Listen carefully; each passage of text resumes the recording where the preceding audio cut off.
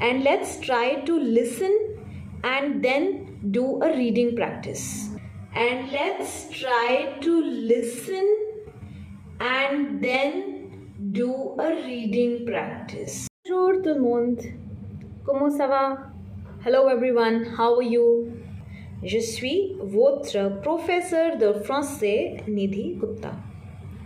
So today we are going to practice a passage on a girl and a boy. How do we describe them? Okay, let's start.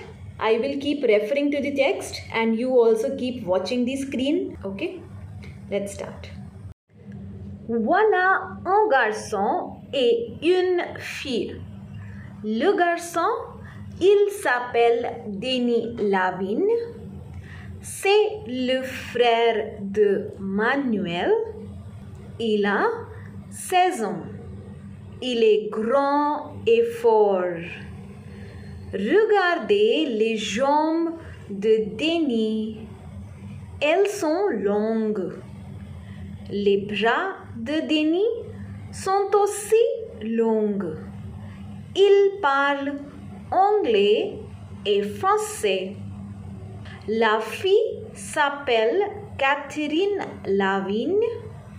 C'est la sœur de Manuel. Elle est petite. Elle a les yeux bleus. Sa bouche est rouge. Elle a les cheveux longs et blonds. Elle est belle. Ils habitent dans une grande maison. Le frère et la sœur sont très proches. Ils se disputent rarement. I hope you have understood how do we pronounce these words.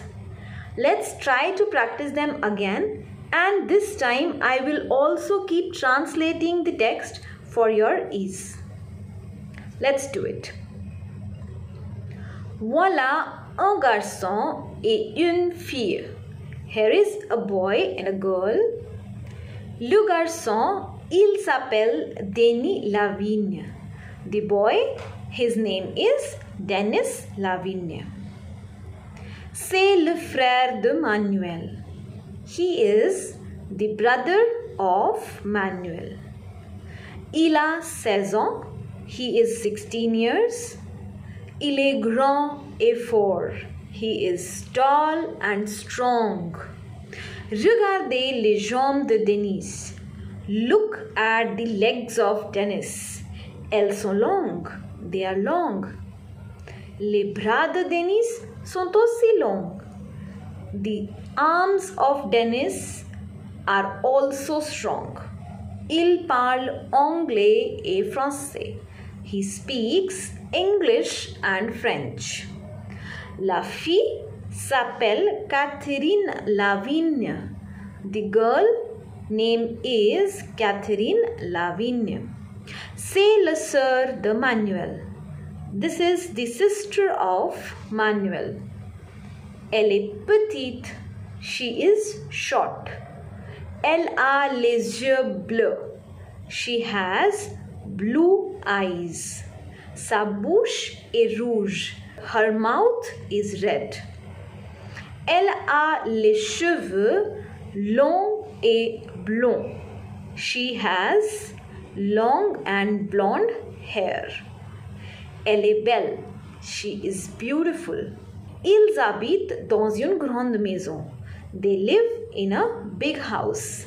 Le frère et la sœur sont très proches. The brother and the sister are very close. Ils se disputent rarement. They fight rarely. So, guys, I hope you have understood the English translation part as well as the reading and listening part. How do we pronounce? How do we read? How do we describe a boy or a girl? That is a male and a female. So, let's practice it together again. Listen to the video until you are able to properly pronounce all the words. We will meet in another video. Till then, au revoir, bonne chance, all the best. A bientôt.